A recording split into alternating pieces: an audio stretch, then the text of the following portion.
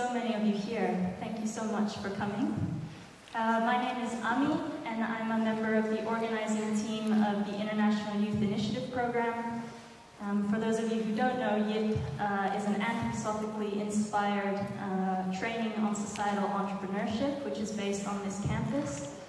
Um, and at YIP, uh, we work out of the understanding that the world is one interconnected living organism in which everything has an impact. And so we also work a lot with the question around the relationship between freedom and responsibility and how we can be in service to the collective while also maintaining our individual uh, sovereignty. Dr. Shiva also speaks a lot on this theme of connection and our relationship to food, to farming, to uh, the animals, and to humans. Um, and so it's been a great honor to have the privilege of learning with uh, Dr. Shiva the last few days um, on the course that we had at YIP titled Biodiversity, Food Sovereignty, and Regeneration. Um, and we're so incredibly grateful that she also said yes to doing a public talk tonight so that she could share her wisdom uh, with the wider community here. On a more uh, practical note, um, this event will go until 8.30. Uh, Dr. Shiva will speak for the first hour, and then we'll have 30 minutes for uh, questions. Um, so there won't be any break in between. Um, before I introduce Dr. Shiva, I also wanted to say a big thank you to the Kulturhuset for allowing us to use this beautiful stage um, to Martin and Peter and the staff of the Kulturhuset uh, for helping us with the tech and organizing this space.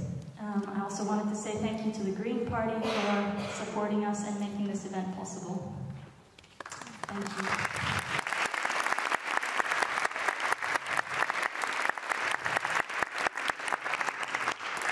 Yes, so now I have the great honor of introducing Dr. Vandana Shiva. Um, Dr. Vandana Shiva is the daughter of a forest conservationist.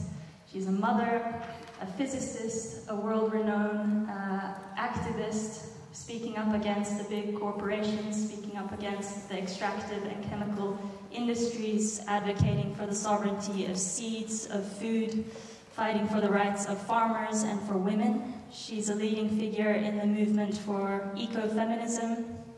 Uh, she's also a writer and has written numerous papers and books. Uh, she's a speaker, an educator, um, and she's also the founder of Navdanya, which is a movement uh, promoting and protecting the biological and cultural diversity.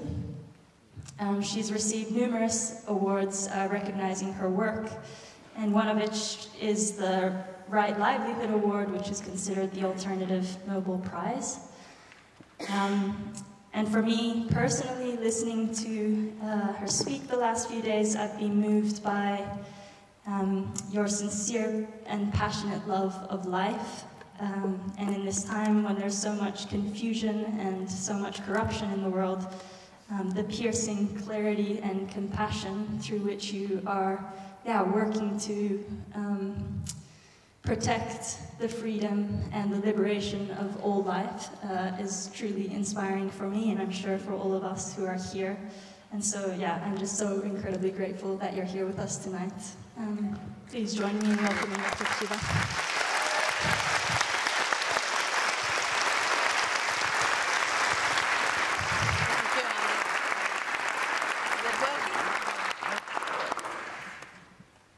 Thank you, Carl. Yeah. Thank you. um, and thank you to all of you. Wonderful to see you, for which for me, uh, time for me is rather late, because India time is four and a half hours ahead. Uh, so when they asked me to, for a title for the public talk, I said, real food, real farming.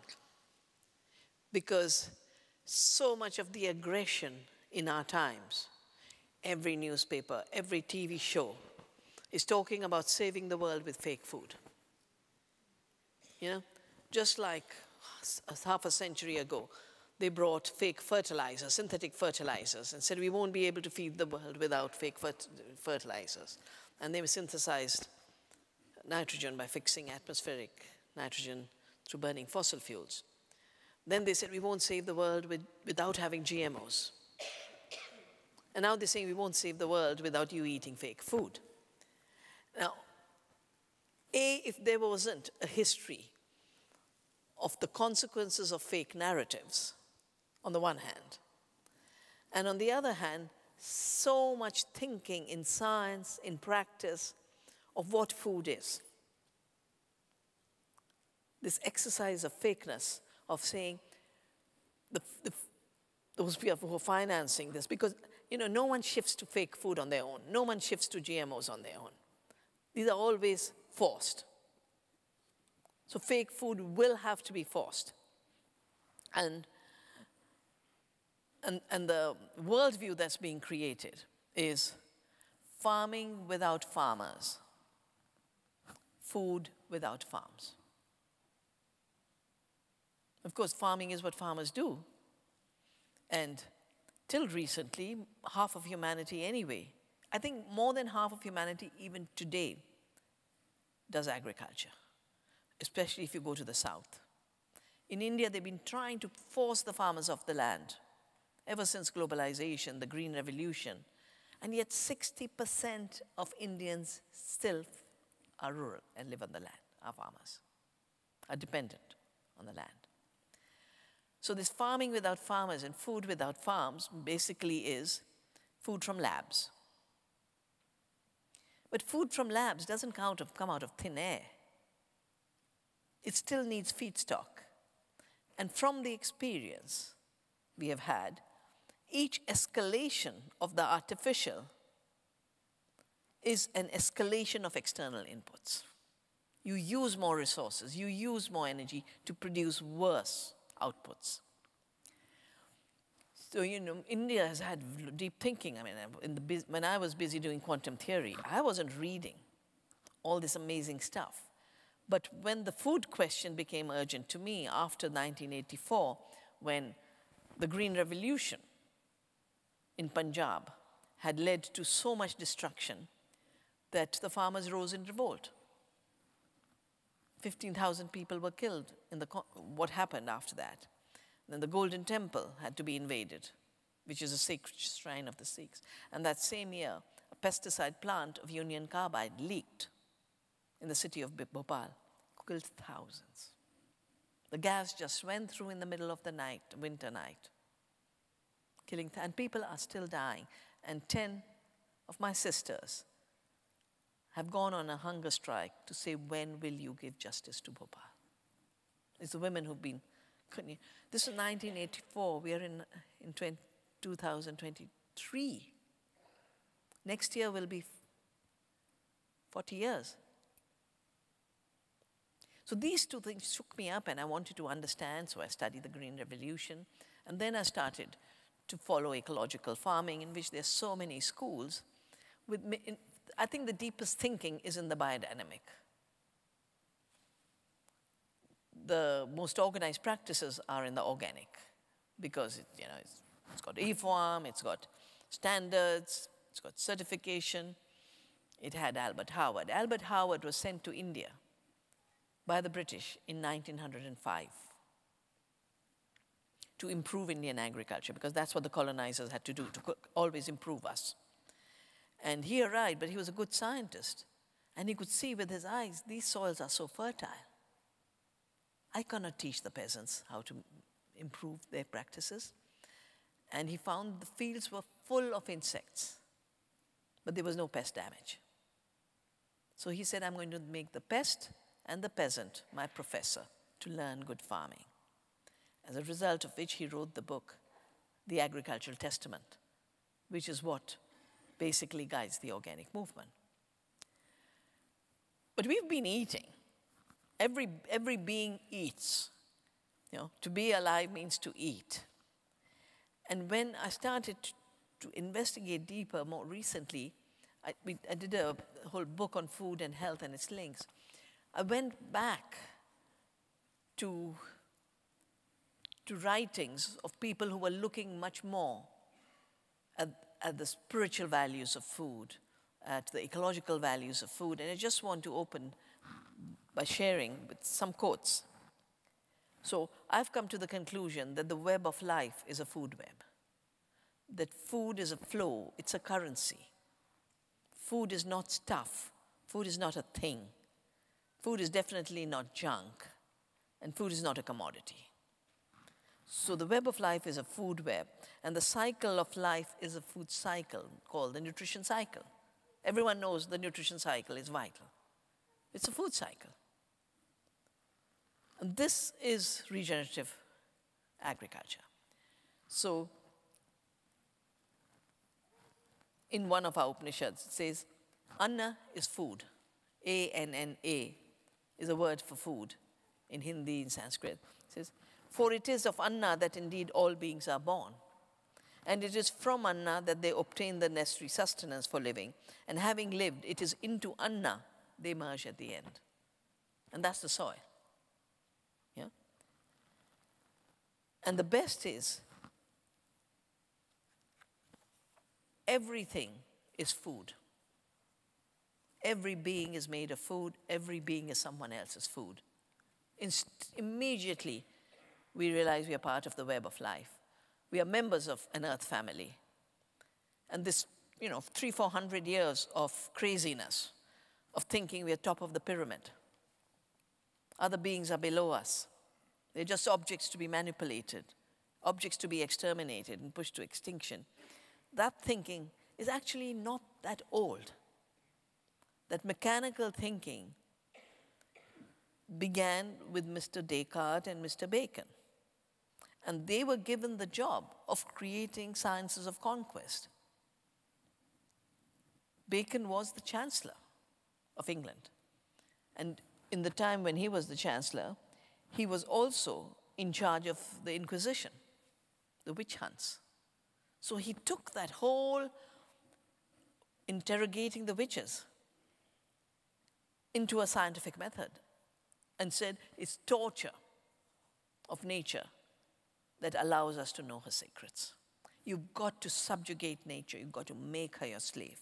And so we have a very violent way of thinking in a mechanistic way and a reductionist way. Of course, the irony, you know, uh, I, I think often how, you know, this level of arrogance then finds its answers. So Mr. Bacon died by stuffing snow into a chicken to see if he could preserve the chicken by filling it with snow. Mr. Bacon got influenza and he died, the chicken didn't.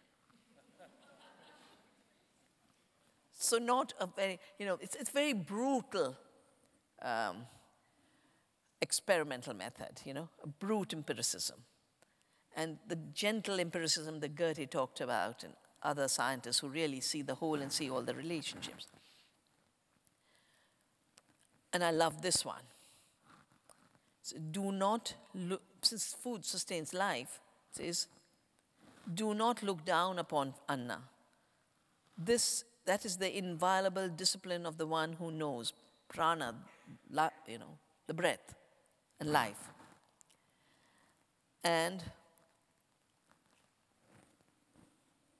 and it, I think it's the Taittiriya Upanishad in the Mahabharata, they say that the highest dharma, dharma is the right action, and the highest dharma is the growing and giving of good food. And that's why India had this amazing tradition. You come to someone's house, they feed you because their dharma. For the farmer, the dharma was not doing an agriculture of carelessness. I've worked with all kinds of communities in India, and I remember a particular time I was helping an indigenous community who was fighting a bauxite mine on their sacred mountain, Niyamgiri. So I'd gone there to support them, and I was having meetings with them. And at a certain point, one of the members just got up and mumbled something, left. And you know, you, your, your typical understanding is, oh, something must have happened. Must be an emergency. What he was mumbling, and his colleagues told me, he was saying, now I must go beautify the earth. Farming is beautifying the earth. Farming in a good way, in a non-violent way. So the growing, growing of giving of food is the highest dharma. Not growing food, or growing food badly, or giving people bad food is the highest adharma, the opposite. So we've, of course, messed up with the food system. First, it began with making fake fertilizers because soil fertility is the living process of a living soil. Soil is living, and the life in the soil creates the soil fertility. You know, this planet was a dead planet. But we are a living planet because first the microbes, then the plants, through photosynthesis, could take sunlight and transform it and absorb the carbon dioxide. We were a carbon dioxide rich planet and depleted in oxygen. 98% CO2. And, and just this photosynthesis process of the green leaf and microbes took the sunlight, took the CO2, turned it into carbohydrates that many are now calling the molecule of life and at the same time, give us breath, give us oxygen. No mechanical system can do all this, none. But those carbohydrates that the plant produces are then food for the microbes that turn minerals into soil. From the minerals, they bring the nutrients to the plant, they get the energy from the carbohydrates, and then the plant's organic matter is recycled. And before you know it, you're creating soil as a living system by co creating with living systems. And this then created the conditions where our species could arrive. The oxygen increased, the carbon dioxide decreased, the temperatures, which used to be how much was it? The temperatures came down to 13 degrees from hundreds of degrees, came down to a livable temperature for the human species to evolve. But this is also where we should be looking how, you know, the whole, what's the Gaia hypothesis? The Gaia hypothesis is the Earth is living, her living biosphere creates the atmosphere and regulates the atmosphere. And that's the reason temperatures came down, carbon dioxide came down. But what are we doing today? Industrial agriculture is a destruction of the biosphere and biodiversity and the illusion that somehow fossil fuels will replace it. Because all synthetic fertilizers, you know, they're fossil fuel based the nitrogen fertilizers. One kilogram of fertilizer uses two liters of diesel, and then it emits nitrous oxide. 90% is wasted, goes into the waters. And the soil organisms cannot live with the salt. So you have desertification. And these externalities, of course, weren't seen. You know, when I did the book on the Green Revolution, on the one hand, a lot of people, you know, started to see these connections. And on the other hand, those who had pushed the Green Revolution started to panic because the narrative was we feed the world with chemicals. And here in Punjab, the chemicals were ruining the land, killing the water. And, and our, our work has shown that you know, the synthetic fertilizer use then weakens the plant. You use 10 times more water, the plant is just water, absolute feast for pests, you get more pest attacks, so you use more pesticides. Fertilizer use leads to pesticide use. And there's a cancer tree that leaves Punjab called the cancer tree. Its name is the cancer tree because of the heavy pesticide use. And yet, we're still being told, you know, that they keep organizing in a new way. And right now, the way the pesticide industry has organized itself is called the crop life. It has nothing to do with crops and has nothing to do with life. It's basically companies that produce toxic chemicals to kill insects, to kill plants, and human beings. Bhopal was human beings being killed by pesticides. 200,000 farmers die every year because of pesticide poisoning. So this is not a science of life. And they, you know, they, re, um, uh, they re-engineered their name from the agrochemical industry to the life sciences industry when they were starting to use GMOs or wanting to use GMOs.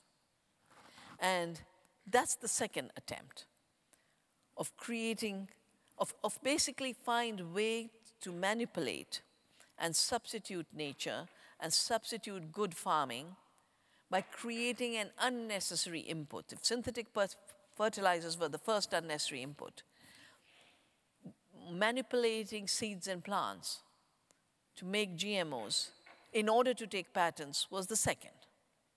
And you know, when, people ask me, why are you against GMOs? I said, I'm not against GMOs, but I'm against blindly accepting something that has totally failed.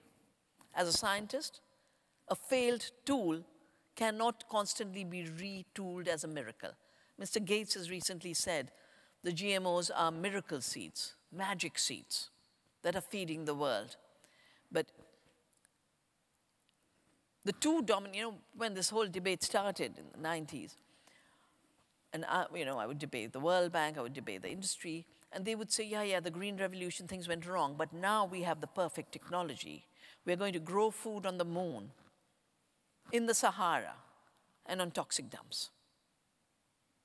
What did we get now, 30 years later? All we have is Bt toxin crops and herbicide-resistant Roundup Ready crops. That's it, two traits. In four crops, corn, canola, soya, cotton.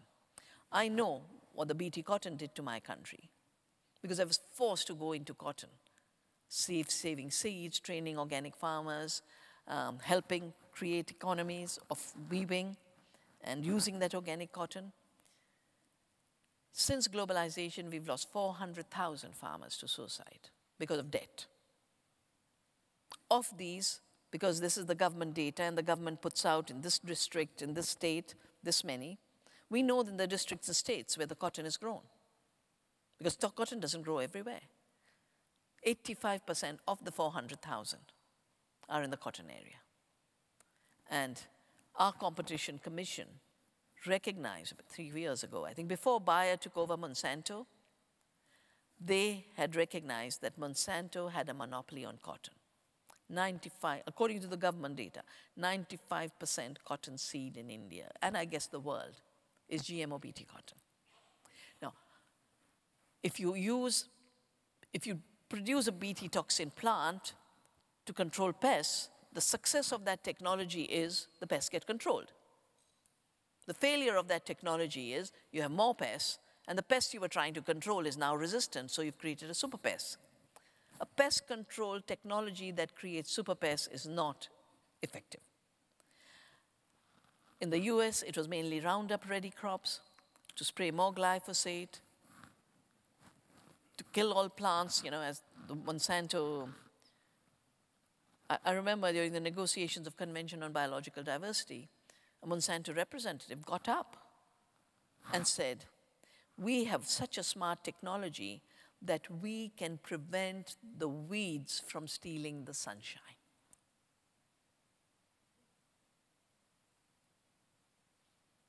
And, and for them, then killing all biodiversity, except the four plants that they were using, uh, was basically a contribution. I think this is a very clear example of creating a, a product to kill life on earth, the green leaf that is the basis of the whole cycle of food.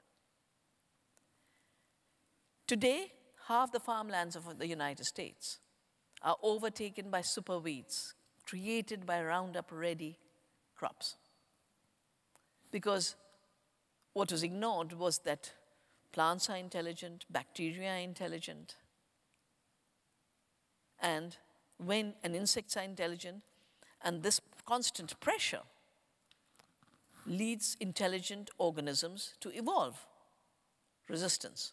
So you have super resistant weeds and you have super resistant pests, and more toxics are being sprayed, and that's why they're rushing for gene editing.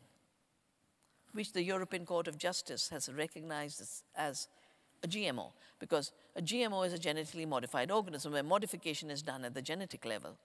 Whether you add a new gene or you edit a gene, the results in both are genetic modification. And because all living systems, including the seed and the plant, are systems which are self-organized complexity, autopoiesis, as Maturana and Varela has said. And self-organization means an amazing harmony at every level of the genome. Every element of the genome is linked to other elements of the genome. One gene, one trait is not true. All genes work together to produce one trait. And each gene contributes to multiple traits, just a about, because it's not a linear one-to-one relationship.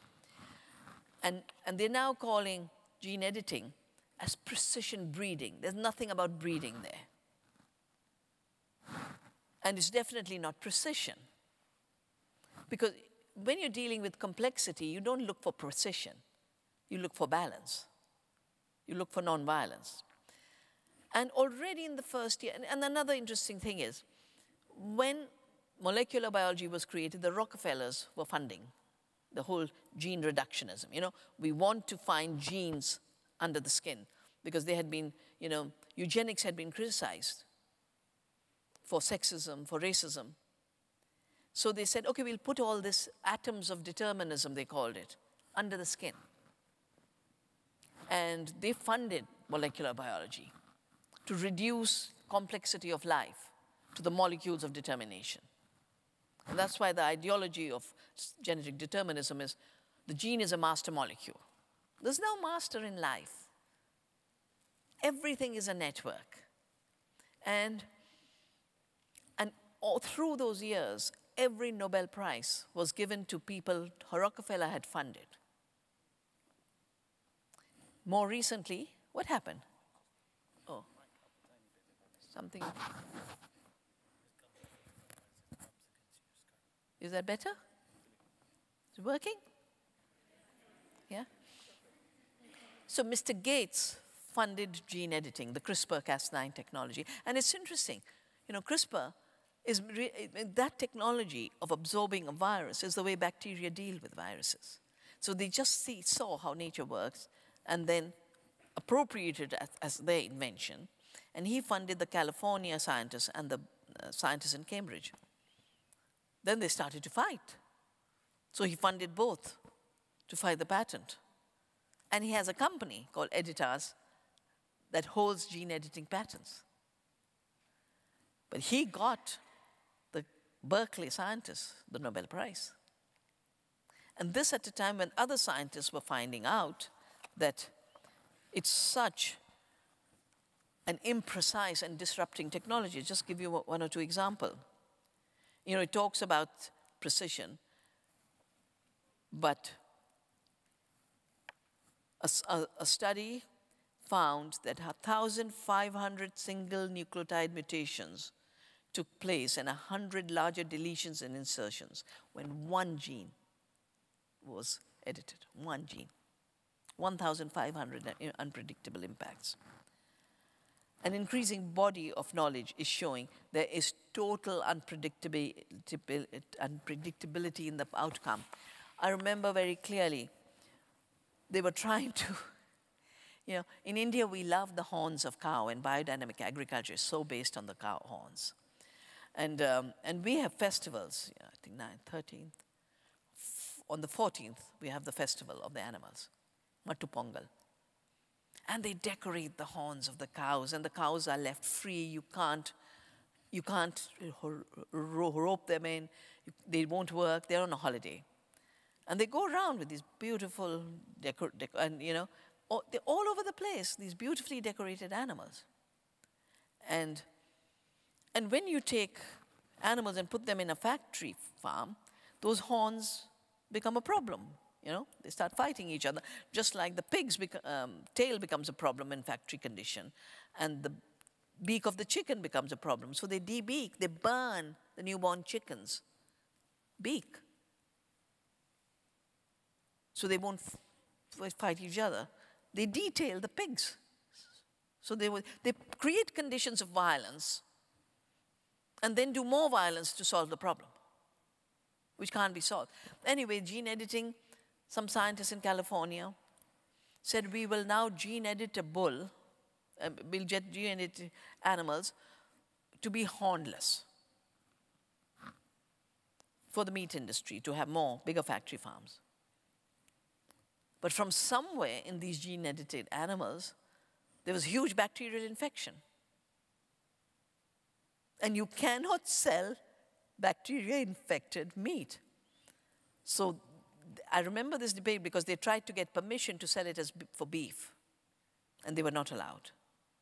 So the imprecision is so known, and yet the desperation is so huge. Because why is gene editing being pushed?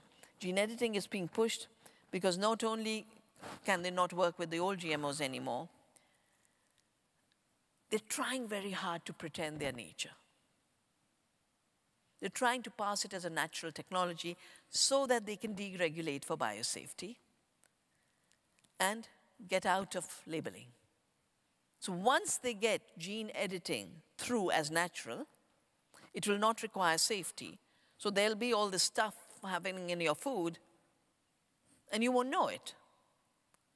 And you won't be able to make the choice that I don't want to eat this stuff because it will have a label natural. So we are at a very dishonest moment, extremely dishonest moment in terms of our food.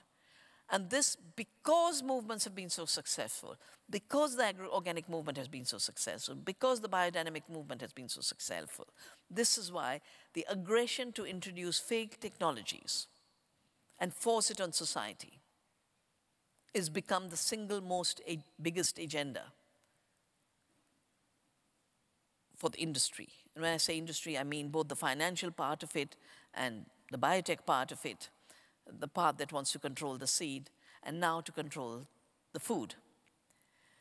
So synthetic fertilizers began with synthetic, you know, began the introduction of synthetic elements, artificial elements into the food system. Then you had, instead of, of breeding of whole organisms with whole organisms, you now had genetic engineering to really not have the, the clearance of the organism to accept modification. It was a forcing of the organism. And in the process, you actually created fake seed. Why do I call it fake seed? Because the nature of seed is to arise. The word in India for seed is bija. Ja is life, bija is that which arises on its own forever and ever and ever. Because the seed doesn't ever get exhausted. But the idea of creating terminator seed, non-renewable seeds, patented seeds, is trying to stop the urge of life from renewal.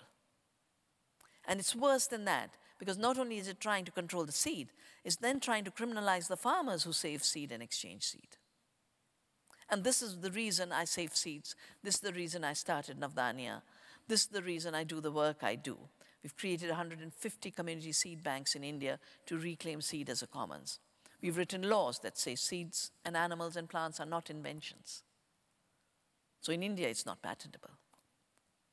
And we have laws on farmers' rights, that farmers are the first breeders, and their rights cannot be alienated.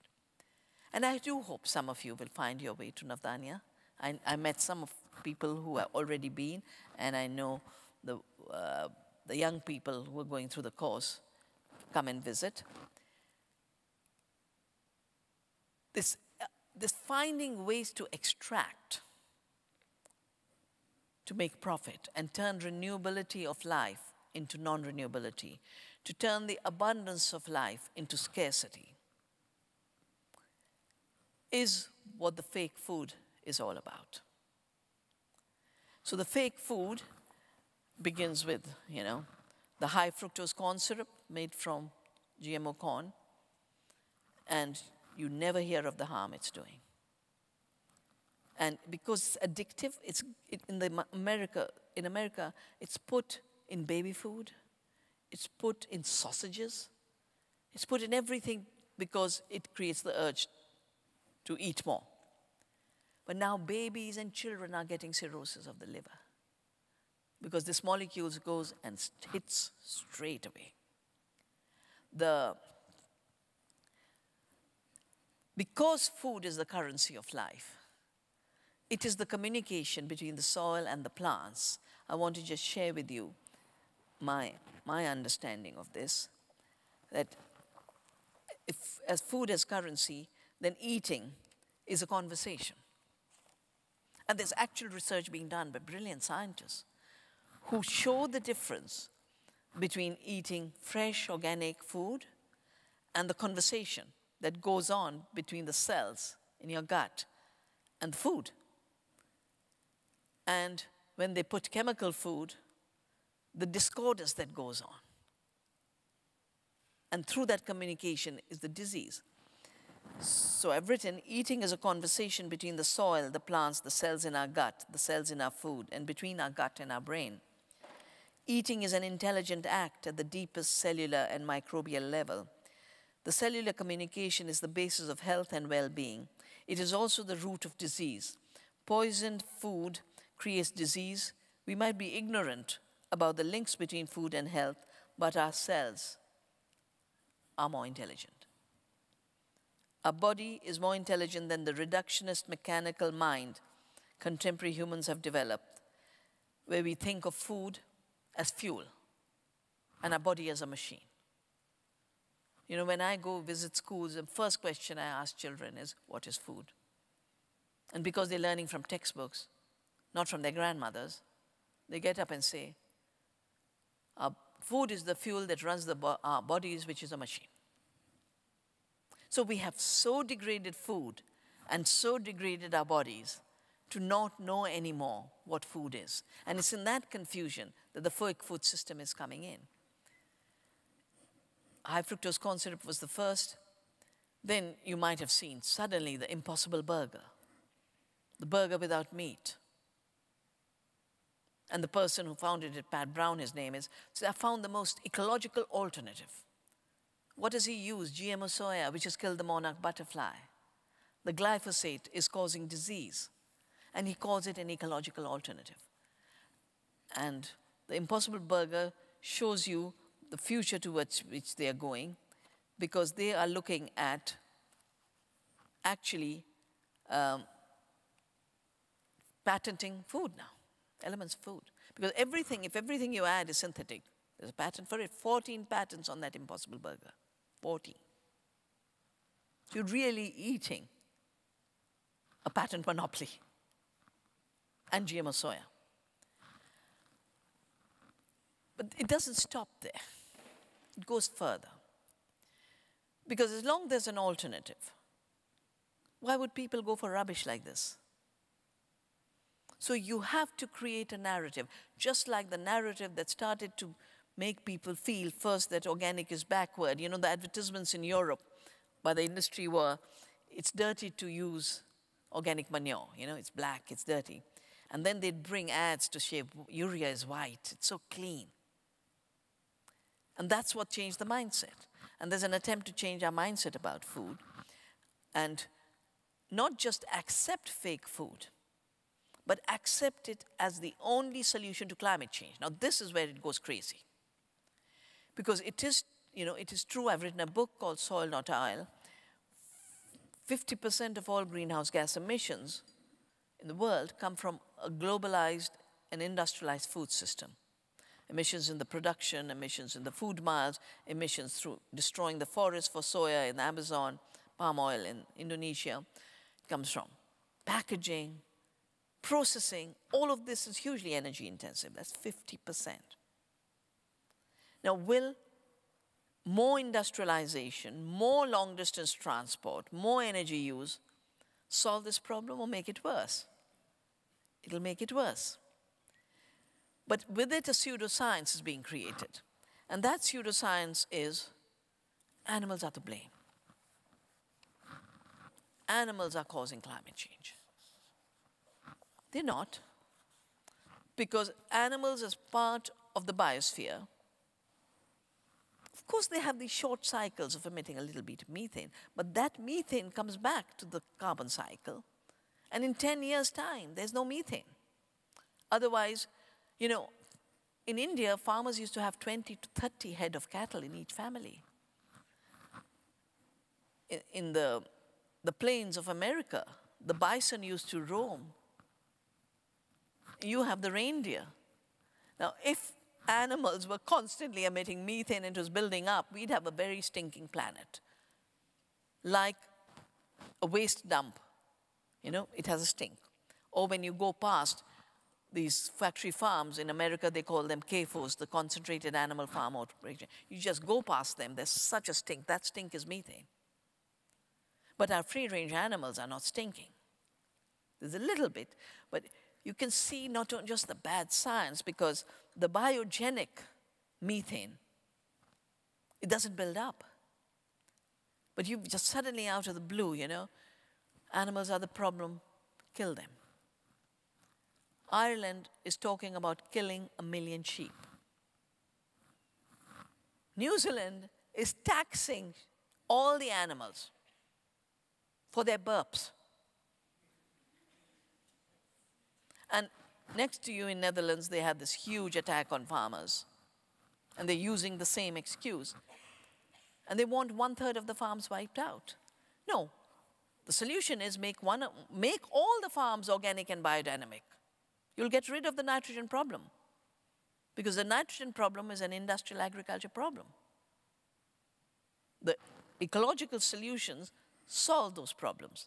You know, on our farm, even, even the scientists who did the study for us, on our farm, in, um, I think we did a 20 year study on the valley, and they couldn't believe it, you know, because everyone thinks you put an input, then you have that object. So you put nitrogen fertilizer, you'll have nitrogen. In chemical soils, the nitrogen has depleted 22%. In organic soils, we're not applying any external input. The soil system is creating nitrogen up by 100%.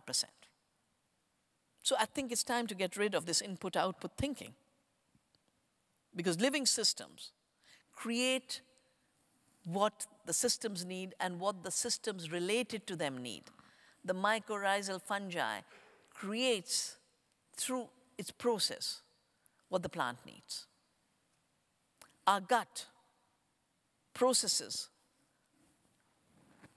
you know, through 100 trillion microbes, and you know, Natasha's here, and she'll be having the course on, um, on food and brain.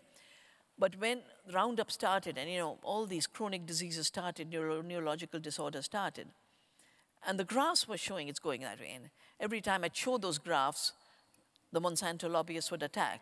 Correlation is not causation. So, but you know, a good scientist says, oh, if there's a correlation here, let me look for the, what the causation is. You don't escape from seeking causation. So there's an MIT scientist that I've come to know, and I said, okay, but let's begin with autism. What are, the, what are the consequences of glyphosate? We know all that. What are the symptoms of autism? And how are the two related? And she did this. And uh, Stephanie Seneff is her name, and she's uh, done a book on glyphosate. But Monsanto always used to say that glyphosate is totally safe for us because our cells don't have the shikimate pathway. And everyone said, yeah, so it can't do any impact. But I know other scientists like Professor Huber and all who pointed out, he says, the bacteria in the soil have a shikimate pathway. The bacteria in our gut have a shikimate pathway. And this disruption, disruption by glyphosate is having huge implications. And, and your work, Natasha, is, is showing how much food is related to that. So the bacteria in our gut produce three aromatic amino acids, tryptophan, tyrosine, and phenylalanine through the shikimate pathway. Since our cells don't have the pathway, we have to have these bacteria in order to be able to process all this.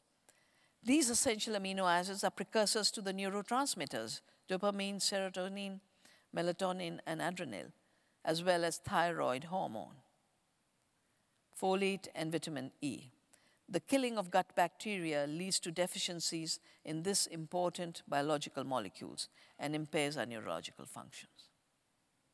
Now, if your entire fake food will be using more GMOs, more Roundup, more synthetic chemicals added to pretend, you know, like in this Impossible Burger, they actually talk, they made a fake blood called heme to make it look like meat. And I can't understand. I said, You don't want to eat meat, don't eat meat. There are lots of vegetables. But why do you want to not eat meat, attack everyone, kill every cow, and then say, I want blood? It doesn't hang together for me. For the industry, I can understand. They'll tell any lie. DDT is good for you, is how they sell DDT. But for the people who are getting convinced by fake food and the fake narrative and the fake science and the fake economics, that's what puzzles me. And it puzzles me particularly because those who think, really think they're solving the climate problem are running down this false line fastest. Fake food as a climate solution is a fake solution because it's avoiding the real path we must follow deeper integration between animals, plants, and trees, which is what integrated farming is about more biodiversity, if the planet could cool itself through the biosphere, then our farming must mimic that process to intensify photosynthesis, to intensify biodiversity. And our work has shown that the more you intensify biodiversity, the more you recycle the carbon and nitrogen, the more the soil becomes healthy, you produce more nutrition per acre. We don't measure yield per acre, but what's the point of measuring nutritionally empty commodities? Food is about eating. Food is about nourishment. And if it's nutritionally empty food, you're going to get all kinds of sicknesses and disease. Because we do the soil work and we had, you know, in, in the chemical soils, the, the zinc had gone down 34%. And in the organic soils, it had gone up 24%. So this public health specialist had come and was visiting us in, um, in Navdanya, and she saw this data, and she says, now I understand why our young people are depressed. Because she does brain chemistry. And she found that half of Australia's teenagers were depressed. All of them had zinc deficiency. But if, if there's no zinc in your soil and no zinc on your food, you will have zinc deficiency. You will have magnesium deficiency and have an attention deficit. Yeah? But the chemical world just wants another chemical solution for each of these things. So there's a British meta study covering more than 400 studies that has found that organic foods can have up to 60% more beneficial nutrition than chemical food. And the the deficiency now, you know, it's being, it's interesting, you know, a paper comes out in a nutrition journal or in a toxicology journal. For two days, it's there, measuring the nutritional emptiness of industrial food and how, how much more phytochemicals, how much more nutrients the real food has. And then you cannot Google that article. Just as much as when the whole issue of immunity came up, everyone you knows that organisms are healthy when they have immunity. Any organism. If a plant is organically fed, it is more resilient and will not be impacted by pests. There'd be the same pests in the field. But the chemically grown field will have attack of pests, and the organically grown field will not have an attack of pests. That's what Howard saw when he says lots of insects and no pests. So we, we're growing more and more nutritionally empty commodities at higher and higher cost. And then we're turning it in magically into cheap food. How can a high cost production system lead to cheap food?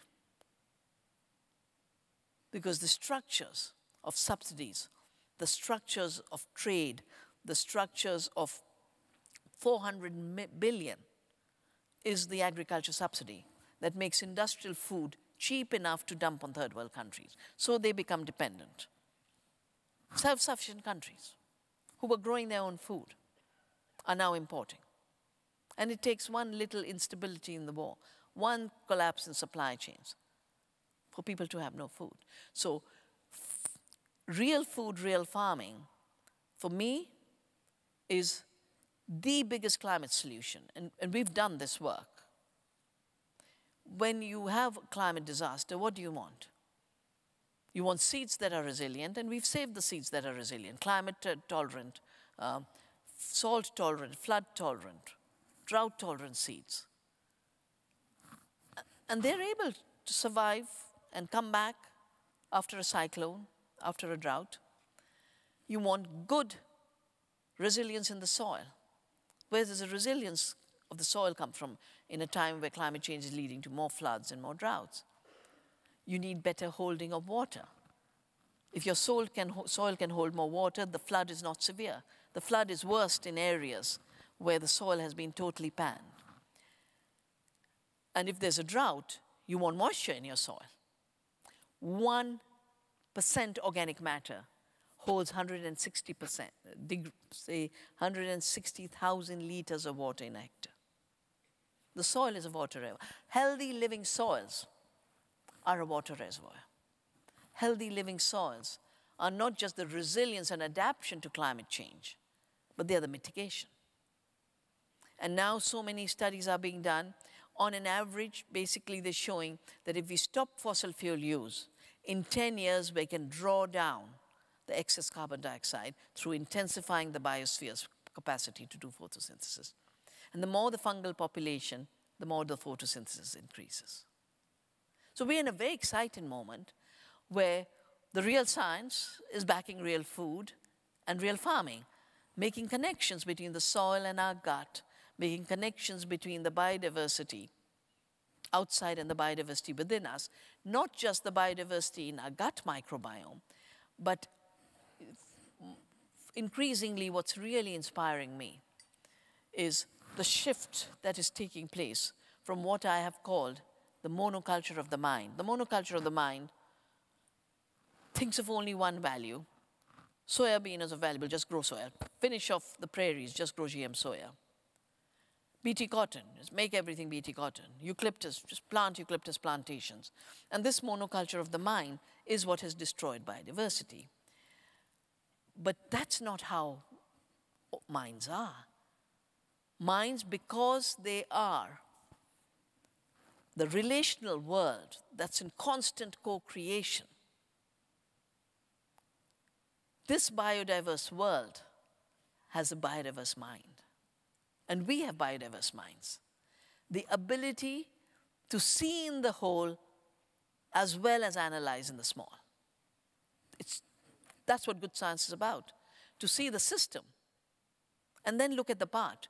But the illusion is when you only look at the part and deny the whole. That's where the destruction starts to happen. And that destruction is, of course, destroying the earth, but worse, it is, you know, I, I often feel that the vicious way in which the poison wakers who are killing life on earth attack those who are protecting life on earth is like contemporary witch hunts. You know, 1493 was the papal bull that justified Columbus's you know, going and take, say, take over the territories on our behalf. But I always joke and say, you know, at that time at least there was a God, and then there was a pope, and then the, below the pope were the kings and queens, and then the queen, kings and queens found adventurers like Columbus. What do we have now? The corporations are the creators, they play God. They are the government, they've hijacked our governments. They are kings and queens, they run everything and they are the merchant adventurers and the pirates of our time. Just more sophisticated, but it's the same old thing. And, and the fact that, you know, the best practices of organic, of biodynamic, and uh, you know, I, I will be going to Goetheanum for the big celebrations in February. I think I have to speak on February 1st. Because everywhere the biodynamic movement is being attacked in France, in Italy. Cases are being filed. When you say your food is healthier, you are misleading the public. You know, so we are living in very Orwellian times. Lies are truth, and truth are lies. Health is sickness, and sickness is health. So in this moment, the real becomes an awakening. But of course, the real can be terribly troublesome in the mechanistic reductionist view, because in a mechanistic view, we are separate from nature. Everything is a machine, everything is an object. And in that dead world, you can't create a knowing except through violence. That's why Bacon suggested violence, torture of nature. But in a living world, knowledge is interaction and dialogue, like food is a conversation. Knowing is a conversation between self organized, intelligent beings. And at this time, where so many crises are converging, which actually have the same roots, the, the same problem, the same fossil fuel world creates climate change. The same fossil fuel chemicals cause extinction of species because if insecticides are sprayed to kill insects, insects will disappear. If herbicides are designed to kill, kill plants, the biodiversity of your plants will disappear. So the real is the real lived relationships in a living world. Then the epistemological gap doesn't happen. If we are separate and the object is inert, and you're the knowing person, you'll always keep thinking, how do you know, how do you know, how do you know? And then objective knowledge, they call it, becomes totally subjective knowledge of projecting onto the world your illusions. But in the real world, life itself is the teacher. In the real world, intelligence is distributed. And there's such amazing work being done on intelligence of bacteria, intelligence of plants, intelligence of animals, intelligence of soil organism. The mycorrhizal fungi is an intelligent organism that's making choices at every moment. What mineral to take up, what toxics to reject. And in this world of vibrant life, rich diversity, and deep intelligence, living the real, defending, uh, practicing real farming, eating real food, in my view, becomes the revolutionary act for life, freedom, and health. Thank you.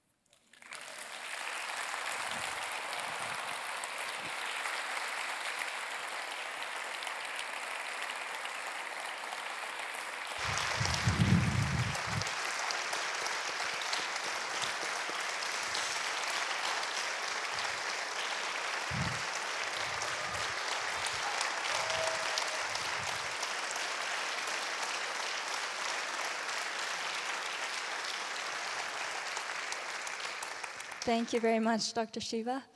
Um, we have about just under half an hour for questions. Um, Tessa and I will be running around with a microphone, um, but perhaps we can also ask for your support in getting it to the right people. Um, so if you can just, if you have a question, to raise your hand up high, and we'll try and get the mic to you.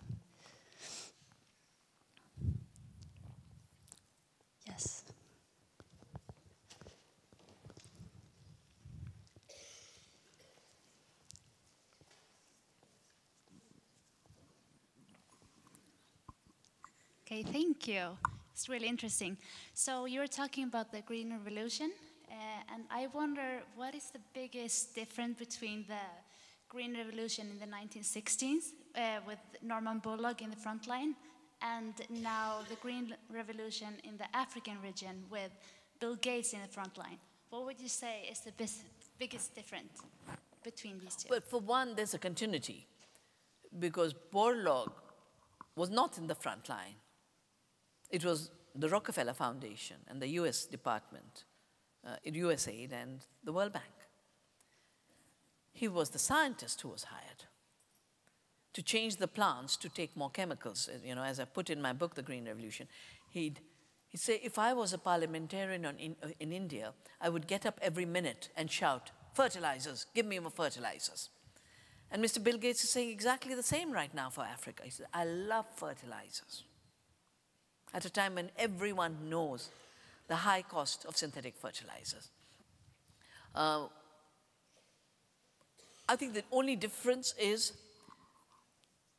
India's a large subcontinent, but the World Bank and Rockefeller zoomed in on Punjab, which was the most fertile and prosperous area. In the case of Africa, they're wanting to cover all of Africa because they have to do two things.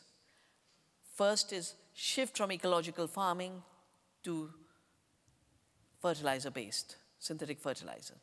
And second, the seed system. You know, in India, we had a very highly organized seed system, including government institutions, including private industry. But Africa, most of the seed system is farmer seed system. So in order to capture that, they have to commercialize the seed. So right now, they are not pushing GMO seeds. They're pushing commercialization of the seed system and making local seed illegal. I've been to Africa two or three times because law after law is brought. I think in Ghana they've just tried it, in, uh, in another South African country, making farmers' seed saving illegal. And you know, this is the reason I started Navdanya. I said, no, saving seed is our highest duty. How can our duty be converted into a crime? I will not accept that. So you know, and this, they tried it in Europe. I think it was 2015, where they brought a, law called, they brought draft law called plant propagation law. And my friends in the European Parliament started to ask me and said, "Is this law that's come.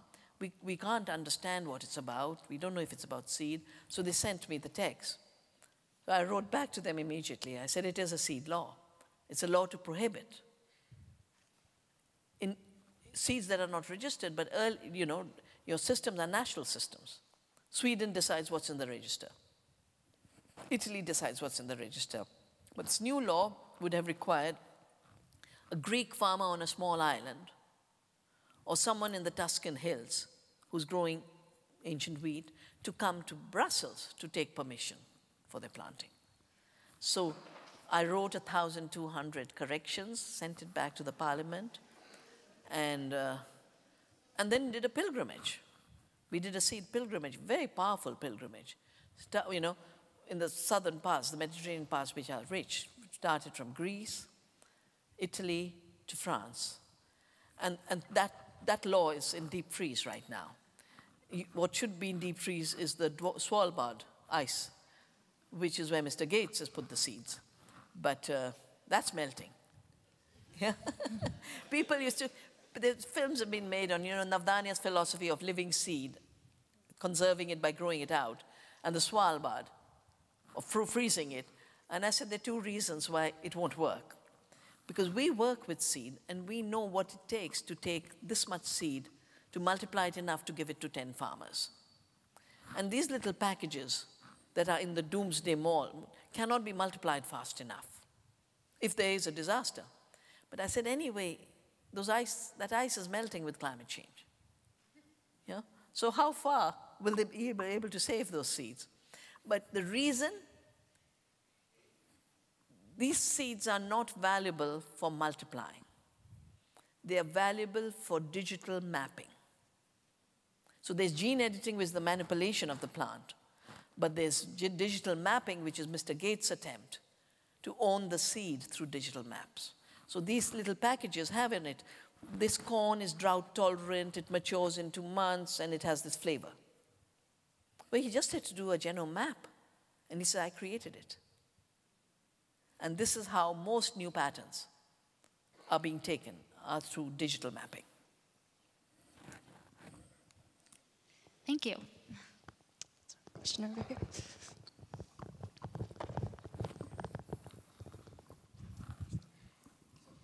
Thank you so much. Um, my question is, um, have you received any resistance on a personal level um, as a consequence of you talking about these topics? And how do you handle them when it's like a large corporation standing against your message or something? Yeah, so the first time I, I received conflicts, uh, received was when I was doing a mining study for the government. And this was in my valley, so I came back to study. And I get called from the miners saying, if you go back to the field, you'll find your eight year old dad and your eight month child dead. So I came and talked to my dad. I said, you know, this is what they say. And it's in the film that was screened that, you know, my dad said, doing your duty, duty, following your conscience is your highest role. You must continue. And there are higher forces that protect us. I mean, that's something he always said to me. Are higher forces that protect us. Then I filed a case against Monsanto when they brought the GMO cotton illegally. And I got massive threats. And you know, they kept, you know, one, min- one minute the call would come from Paris, another minute it would come from, you know, all the consequences I would face. So what did I do? I called my friends and said, just photocopy this case. And if I don't turn up in the court, you deal with the lawyers.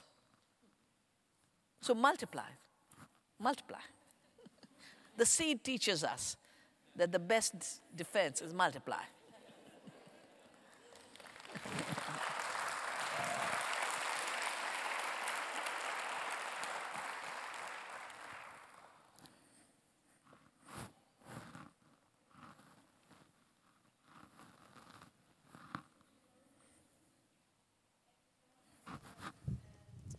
I have a, Oh, oh, okay, thank you so much. I, I have a question about soils that have been treated with glyphosate. Is it, how long does it take for it to be living again?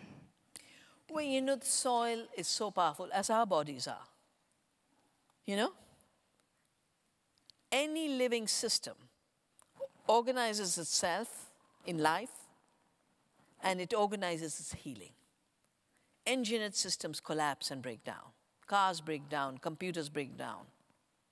A plant doesn't break down, it heals itself. The soil doesn't break down, it heals itself. So I can tell you from two examples. When the tsunami hit, I went in to help the Tamil Nadu farmers.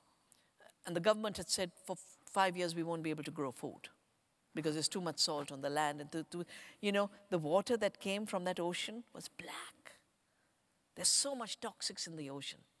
So this toxic layer in the soil, they said, won't be able to salt. So we had saved the salt tolerant seeds in our seed bank in Orissa, which has 1,200 kinds of seed varieties. And we said, we'll bring it. The bureaucracy, of course, tried to stop the farmers' trucks, yeah? Um, but eventually, you know, we got there, we distributed. And of course, we helped the farmers with organic training very fast. We got, gave the seeds and did organic.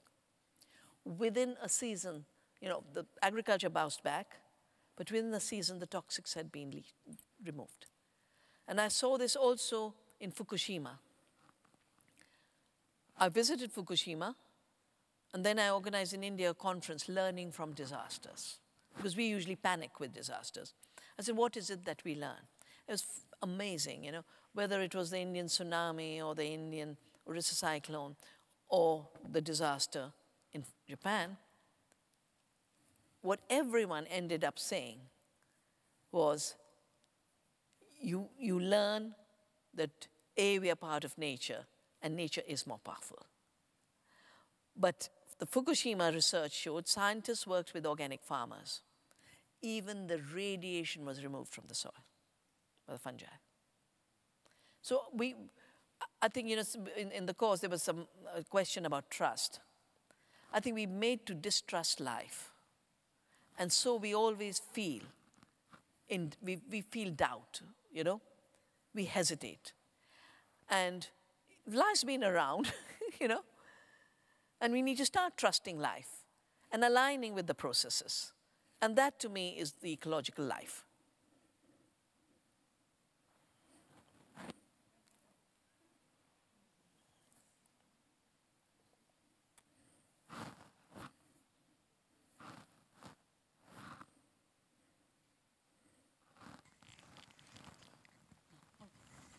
Uh, hi, thank you for your um, everything.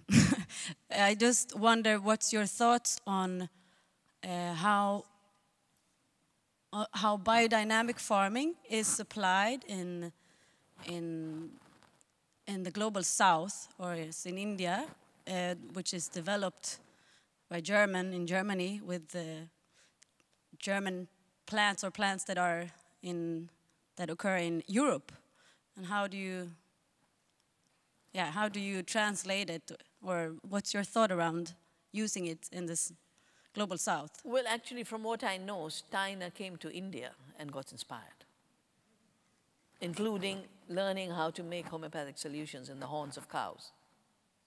Yeah? So, of course, So the, the whole tradition, the whole biodynamic farming is based on old traditions from India. Would you say? no, that? elements of it, because I think any creative mind takes an insight and then puts it to a, a deeper learning.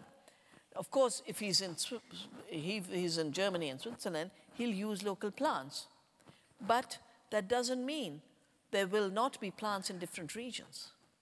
But what's the, like if taking the ideas from traditional farming in India, for example, uh, what do you think that has had another effect on maybe eliminating traditional methods and farming methods? No, that did not. What had the impact of eliminating methods was the Green Revolution. The Green Revolution said all your indigenous practices are wrong. It's not, it's not the spreading of knowledge. You know, that's why I love the seed and I love knowledge. If I have seed and I share it with you, I can still grow my seed and you can grow yours. It's the intellectual property that creates poverty, making it illegal for us to exchange and for us to save seeds. That's where the seed famines start. Knowledge is the same. If I share knowledge, I don't have less of it. There's more of it in the world. But piracy is different. Yeah? If Steiner came to India and then came and said, totally my invention and I have intellectual property on it, and then prohibited the Indians who were using those same techniques in an earlier way to prevent them, that would be criminal. And that's what the seed industry is doing. That's what the chemical industry is doing. They steal our seeds, they steal our knowledge. That's what I call biopiracy. And then they use intellectual property. They take intellectual property by stealing and then say, I've invented it. And a patent prevents anyone else from making, using, developing the patented, whatever is patented. So they can steal our name and come back and say, You can't use Neem. That's why I fought the Neem piracy. 11 years.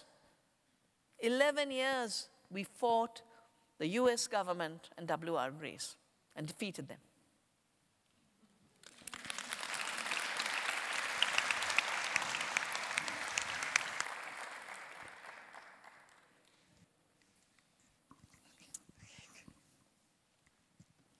Um, I think, I think we have time for two questions. There's one here, and this lady here was next.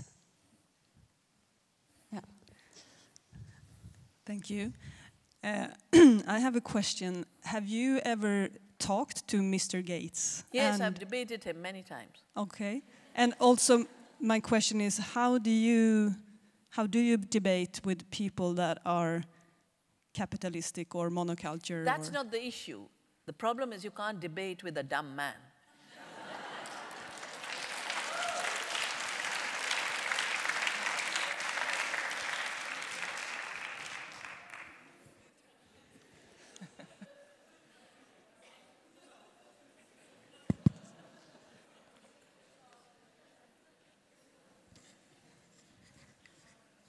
Hello? Yeah, now it works. Thank you so much. I'm deeply touched by everything you've said and by the wisdom you share. Uh, I just want to ask, being, you know, in a wealthy country, educated, being probably um, active we in the public here, uh, we in the, the audience, what would you advise us to do? I don't advise, but I share. And what if I was here in Sweden today with all the qualities that you have said, the first thing I would do is build a strong movement of real farmers, real food.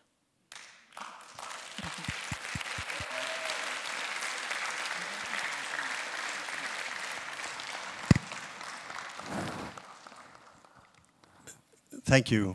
Thank you, Dr. Shiva. It's always so good to listen to you. Sitting in this fantastic hall, uh, more or less handmade around you, uh, I have a question. Uh, you are talking about sharing. Uh, so how do you think a couple of elements of how could the biodynamic farming share some specific issues for the future in a common revolution for real farming and real food. Some few examples from you. Thank you.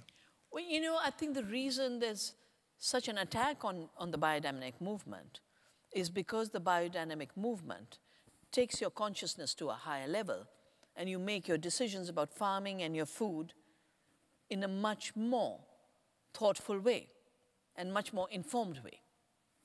The second is the biodynamic results are so huge. That too, I think the entire mechanistic path is to focus on superficial quantity, yield of nutritionally empty commodities. The power of biodynamic is to focus on the potential and quality. And that's the shift we need. That's the big movement from obsession with quantity to realizing the quality and uh, a shift from objects and stuff and essentialism and inertness and you know staticness to a world of flow of potential of interaction and oneness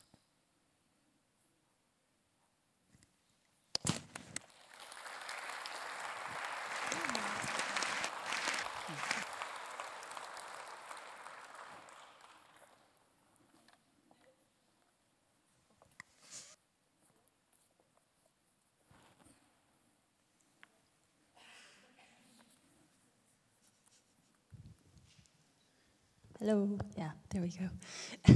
Thank you very much, Dr. Vandana Shiva, for your time and for sharing all of your wisdom with us.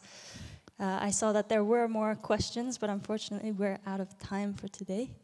Um, yeah, and I just wanted to offer a small token of our gratitude. Uh, it's from the land here, um, because food is the currency of life, and this is uh, water from the birch trees to oh. keep you hydrated on your travel. Okay. Thank you. Thank you very much.